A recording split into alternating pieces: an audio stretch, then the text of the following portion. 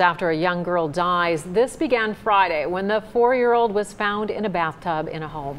Little Avery Hobbs died on Monday and homicide detectives are now investigating. It's a story Local 12 broke online. Sydney Venter is live with more on what family members are saying tonight. Sydney.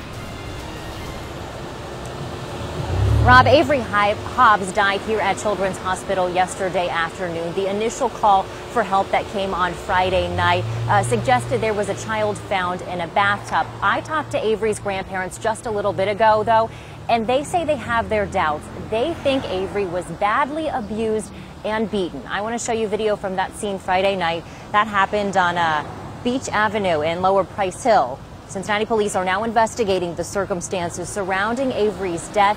Hamilton County Coroner Dr. Lakshmi Sammarco says preliminary reports from Children's indicate some trauma. Although we don't yet know what the official cause of death is, Avery's grandparents told me the little girl they had custody of for years was badly abused by her mother.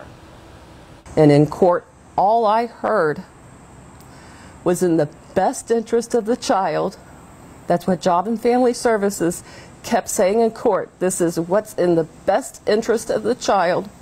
And I want them to know that my little child that I raised here is dead. Is that what's in the best interest of a child?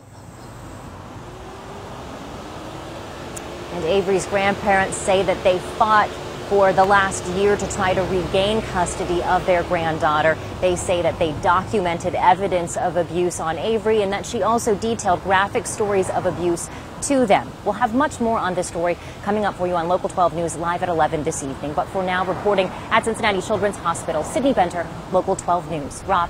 Sydney, thanks very much. Officials with the Department of Job and Family Services say it is involved indeed in this case, but would not comment other than to say it is cooperating with police.